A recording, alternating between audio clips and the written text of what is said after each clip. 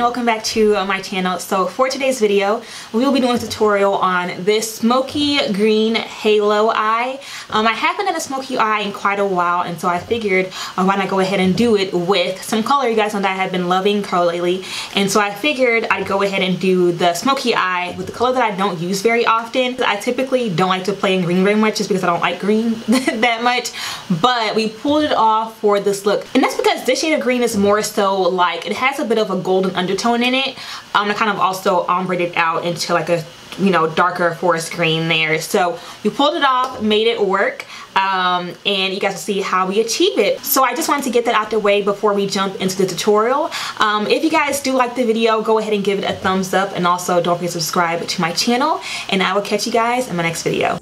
Alright guys, so first we are starting off by moisturizing our skin. I'm going to be using the MAC Strobe Cream. And this is actually a sample that I got in a recent order. So I'm kind of still testing it out to see how I feel about it. But I like it so far. Um, for the brows, I'm using, y'all already know, the Holy Grail uh, Benefit Brow in the shade number 5. And then applying this to my brows, I do the exact same routine. I line the bottom, line the top, and then lightly fill in, you know, the actual brow. After that, I'm going to go in and clean up the bottom of my brow using my MAC Studio Finish Concealer in the shade NC42. Um, and just apply this right under the brow with a flat, like a flat definer brush. And then basically blend it downwards and blend it out with my fingers to kind of get rid of that harsh line. And I do that on both brows.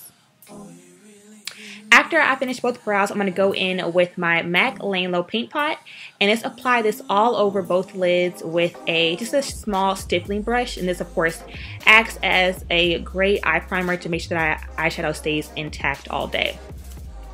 Now to help control the oil throughout the day, I want to take my Becca Evermatte Primer, this is my absolute favorite, and apply it to my T-zone. And then I'm going to lightly color correct um, under my eye with just a light orange color corrector. Um, this was an old one from the Anastasia Beverly Hills Cream Contour Kit, but any, you know, corrector will work. Now, for foundation, I'm taking the Lancome Tints Idol Foundation in the shade 460 Suede. You guys know I have been loving this foundation and my my thoughts on it are still the same. I'm still obsessed with it. I'm going to just take this and just apply it all over with a flat um, buffing brush and just really press it into the skin to get a nice even coverage. For concealer, I'm taking the Makeup Revolution concealer in the shade C10. And, okay, so if you guys saw my review, you guys saw that I wasn't a huge fan of it. But if you follow me on Instagram, then you know that the next day or the next couple days, I had tried out shade C10 and I loved it. So I figured out how to make it work. I just let it, I don't let it sit for as long as I did before. And then I also make sure that my beauty blender is really, really nice and damp. Like I leave it under the sink for like 30 seconds and then squeeze all the water out and, you know, blend it out with a really damp beauty blender and it blends out flawlessly. So I love, love, love it now. Okay, so to set my under eyes in those potted areas, I'm taking the RCMA No Color Powder. So I'm gonna just go ahead and apply that to those areas. Again, it's under my eye, cupid's bow area, bridge of my nose, and my forehead. And then I'm gonna set my entire face with my MAC Studio Fix powder in the shade NC45. And I like to use this powder only because it's a little bit more full coverage and so it kind of, you know, really helps to make sure that everything's covered paired with that foundation. So bronze, I'm using the MAC Mineralized Skin Finish in the shade Dark Deep. And it's applying this to my cheekbones and also around my forehead to kind of warm up the skin. And then to further contour, which is basically to further define those features, I'm taking my Anastasia Beverly Hills Contour Kit in the shade Tan to Deep, I believe is what it's called.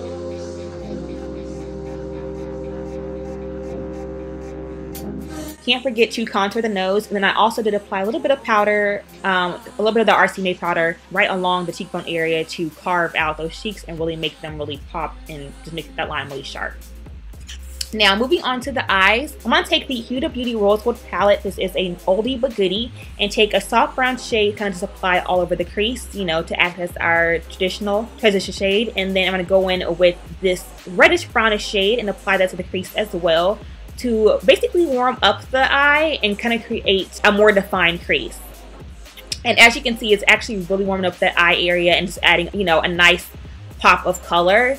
Um, and this will help in aiding the smoky eye whenever you go in and blend it out.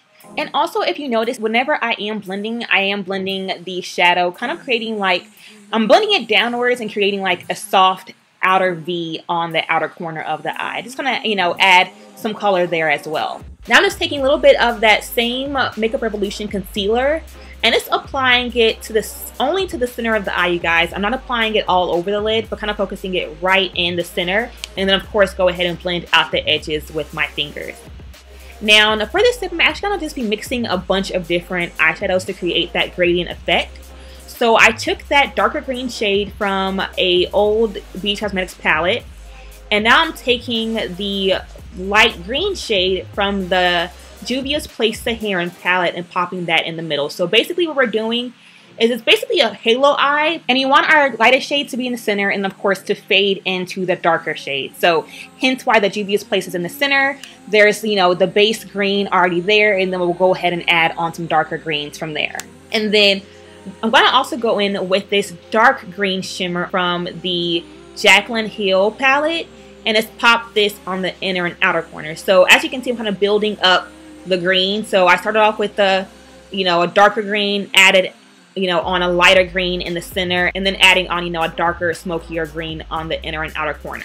And then here I am just adding just a little bit more smokiness. I wanted to take like a really nice, pretty um, matte green um, and apply that also to the inner and outer corner as well. So this look, you guys, as you can see, is all about blending. And also, I didn't mention that that matte green shade that I'm applying right now is also from the Jaclyn Hill uh, palette from Morphe. Y'all, it's all about blending and layering and blending and layering until you kind of get that, you know, desired ombre effect.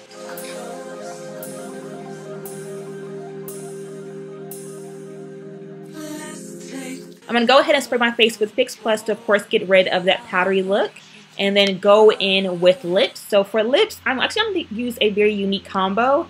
I'm taking the MAC Nightmoth Lip Liner, which is a plum shade. As you can see, it's just a really pretty, you know, normal plum. But I'm going to mix it with a nude lipstick, which I honestly don't do very often, but I like the way it looked and they, you know, when it was paired together. So I just took more Creamer Please, which was by Dose of Colors, and now I'm going in with the shade Naked from Anastasia Beverly Hills right in the center to create a nice, like, rosy, peachy, nudish lip. Okay, I went ahead and applied some black liner in my waterline, and I'm going ahead and smudging out uh, the lower lash line with the shade Sandalwood from that Huda Beauty palette. And now to add some glow, you guys know I love to glow, I'm taking the Maybelline Master Chrome Highlighter and it's applying that's my cheekbones, my nose, my forehead, and my chin area. And I kind of go back and forth between using my finger and just using a brush. Okay, and here is our friend, you guys, that wanted to visit. I don't even know why he's there, but he popped up. And whenever I have like a huge pimple like that, I always just take a pencil, apply it to the pimple to basically make it a fake beauty mark, and it looks perfectly fine. For blush, I'm taking Coral Cove by Milani. As you can see, it's a nice blush of peach on the cheeks. And going to finish off the eyes with a nice pop of champagne in the inner corners on both eyes, of course.